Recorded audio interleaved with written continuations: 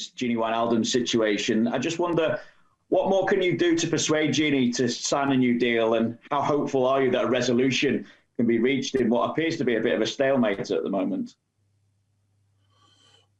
There's really nothing to say about. I think I said everything about it. Um, you know how much I like the person and the player. So there's really nothing else to say about.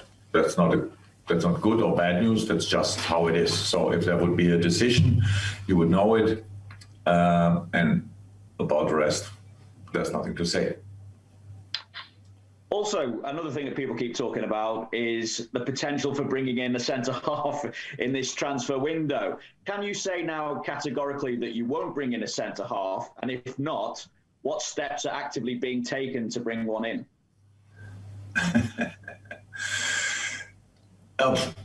no, I cannot say definitely we will not bring it. It's just not likely because of the situation in the world.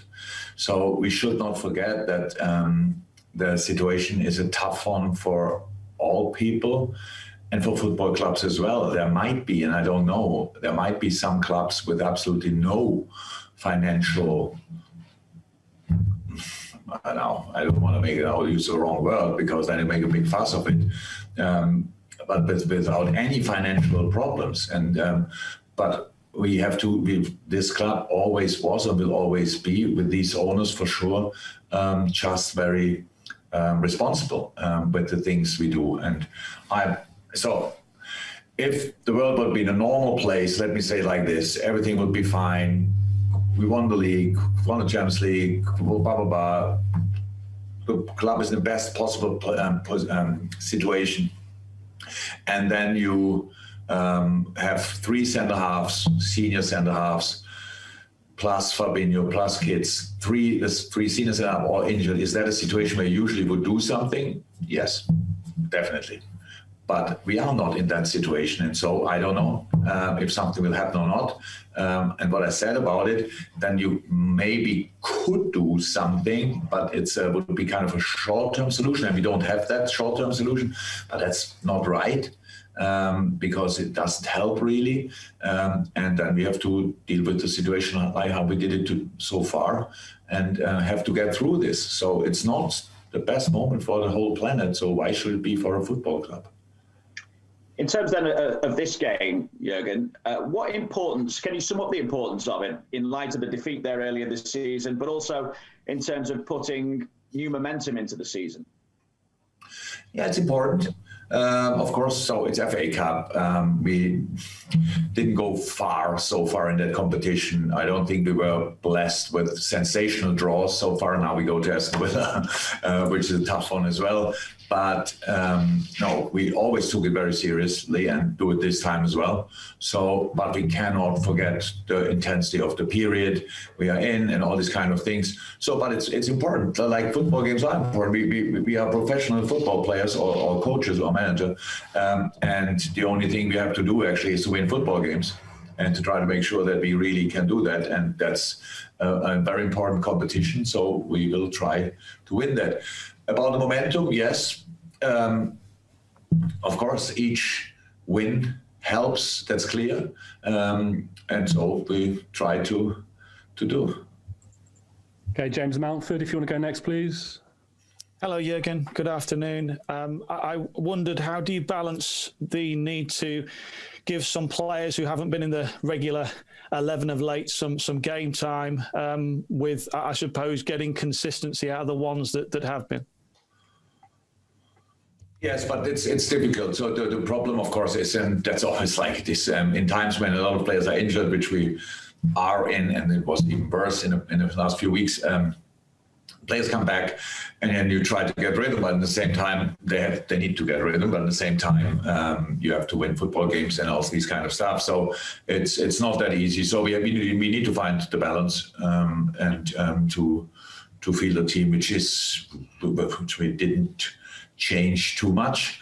Um, but bring in fresh legs again. The rhythm is a different issue. We cannot really sort. We have to solve that step by step, but we cannot do that in one game and use now the FA Cup to to give players rhythm. And the opponent is just too strong for that. So. Um, But we have um, after Aston Villa game, we have uh, uh, um, I think eight days between the two games and um, between Villa and, and, Man United. So that's a, a, long training week or longer even, where we can really um, do a lot of stuff in 11. We have we 11 situations where we really better, which will help the players a lot, especially the players who were out for a while.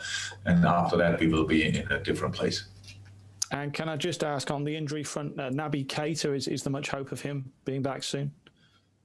Yes, soon, yes, but not for the Villa game.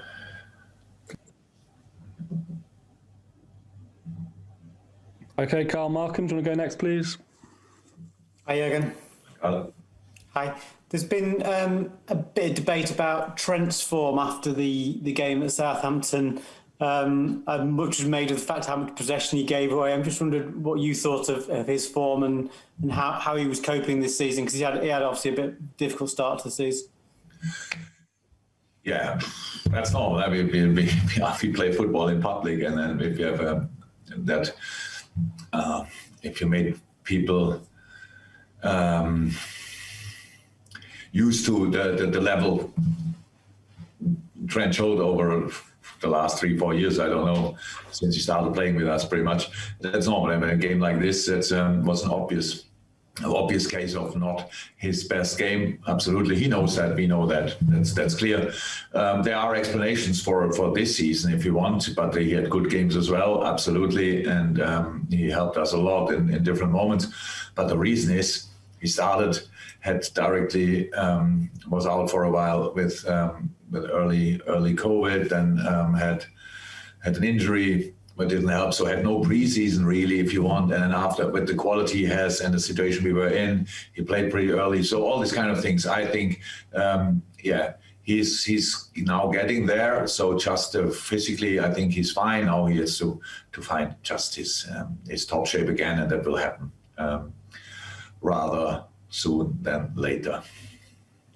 Just generally on, on the team's form, the, the last two years have, have gone so well for you. Um, is this is this the bump in the road that was inevitably going to come at, some point with say with the form just dropping off a little bit? And we don't we are not waiting for it. We don't we didn't we don't enjoy it or whatever. But it's how you said it. It's not unlikely that these kind of things happen.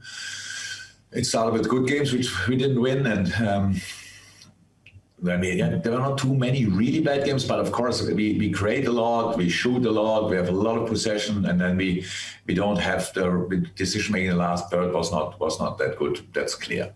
Um, but um, how is that? We weren't waiting for it, but now we we, we we we know the last. I think we only won two of the last six. Drew three, lost one.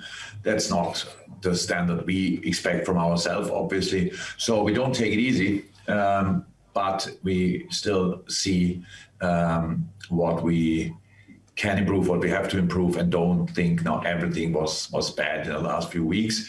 The, the league is too too strong. That if you struggle a little bit, then immediately the results go the other way because the, the opponents are fighting with all they have. And you saw that against Southampton. Southampton, I think, had so far this season only City had more possession than them. With 51, we had 75%. So there was um, we, we really were dominant, but in the end, um, we didn't get the ball over the line for different reasons, and um, that's what we what we know, what we see, and what we are working on. Okay, Neil, next, please. Hi, Jürgen, you okay?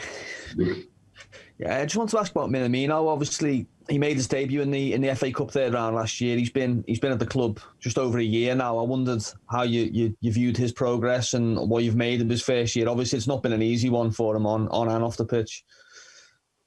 No, it, it, of course. I don't think it's a, it's a, it was a was a very difficult one, but I know what you mean. And now you come in a new club, and then you everybody thinks that you will uh, directly score 20, 30, 40 goals and stuff like this. So, but he um, he is in a good shape and really good shape. He developed, so he got used to it. He was a good player when signed him, obviously, but he got used to the intensity, the league, training, all the stuff, and um, made big steps. Yes, and I know in the last game, I think he played was Crystal Palace when he won seven since then we didn't win anymore. Um, so um, yeah, we should think about involving him, obviously. Okay, James Pearce, next, please.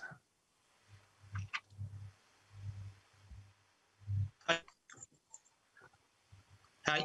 Um, Jürgen, can I just ask you about Diogo Jota? He's about um, four weeks, I think, now into his rehab. Um, is he getting on, and when are you hoping to have him back? It will still take time. He's still wearing the brace, so um, that means he's still a few weeks away from team training, obviously. So there's nothing really to say that takes time. Was no surgery needed, which is good, but it was a it was a proper injury. So and um, it's not that a little knock or something. No, no, no. Um, and it will still take time. No no real time for it there. And just, just in terms of Joel Matip, do you think has he got any hope of being fit for the Manchester United game? We'll get tired, but yes, we try. We try working on that, obviously. So, uh, how I said, until the United game, we still have, not sure, nine days. Yeah, about. So we, we, we try. It's, in a good way, but if it will, if, if it will be United or um, a few days later, uh, I don't know. After United game, we obviously play, I think every three days again, and um, so um, I think that's pretty sure. The United game, we will see. Okay, guys, that's all we've got time for the open section. We'll do the embargoed section now. So if you're recording, can you stop?